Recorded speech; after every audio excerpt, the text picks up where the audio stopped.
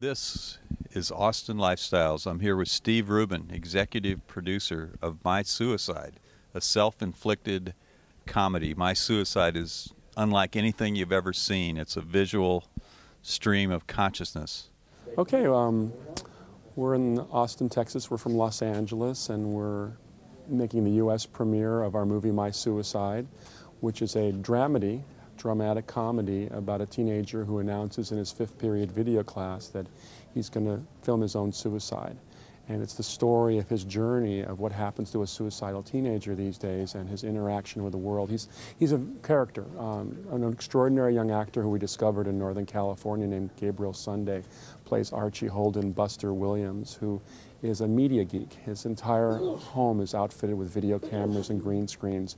And he's kind of like a young Howard Beale, the character from Network, for his generation. And his journey through this suicidal terrain is the core of what My Suicide is. And it, we think this movie will revolutionize the way teenagers look at the issue of suicide. It's a, a very dark issue, and we think this will bring it out in the light.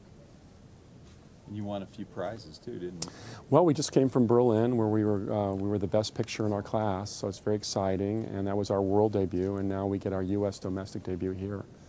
And uh, we're very excited. We're very excited to be in Austin. We've heard the great reputation of South by Southwest as a real filmmakers uh, festival, and we're delighted to show the movie.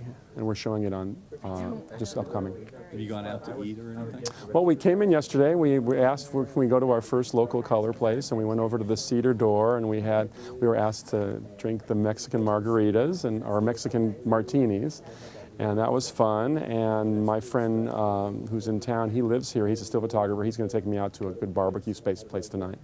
But I've been to Austin before. I was here in '91, um, spending Thanksgiving here, and I, I, I love the city.